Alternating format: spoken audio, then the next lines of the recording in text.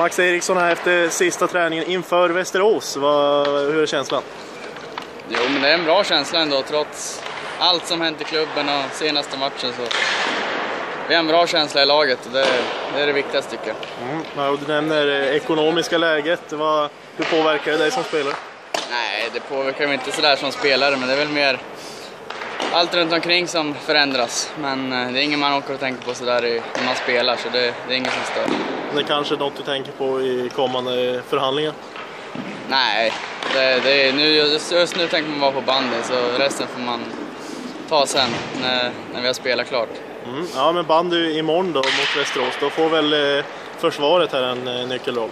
Ja, jo, men så är det väl i, i alla matcher egentligen. Det är viktigt med bra, ett bra försvar. Speciellt då mot Västerås som har, ja, de är ju bra över hela planen, men de har ju många bra offensiva spelare. Så. Vem ska man se upp med mest?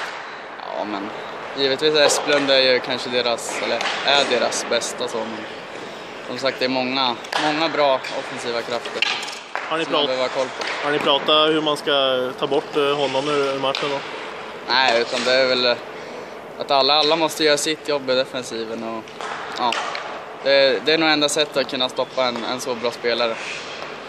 Ja, vågar du eh, lämna ett eh, tips? Tips? Ja. Ja, vi är svårslagna på studion så vi vinner med 3-2. Vinner vi med. Tack!